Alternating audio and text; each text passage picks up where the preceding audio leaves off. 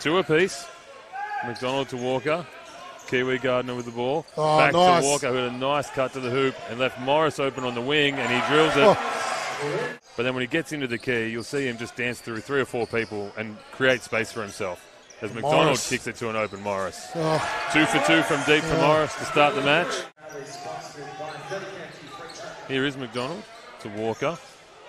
Morris, same spot as earlier in They the went- match, same result. he can't go under that. Adds two more points to his total there. Up to 16 on the night. As Morris takes the three, and it's good. The second half starts the same way as the first half did. Gets across halfway. 35 seconds to go. Oh, Morris, just- couldn't handle it. Yeah, dropped it on the way up for the But shot finds there. Walker for the three on the other side of the court. He nails it. It's a three-point game from the 45. Yep. McDonald comes down the other end now. Morris steps back for the three. It's Oh, good. Yep. Nice, nice little set play from the Central Coast. It gives them the lead back. As Oh. Gardner to Morris. Looks Speaking good. of hot hands. Puts his shoulder in. It's stolen by oh, Kiwi Morris Gardner. on the break.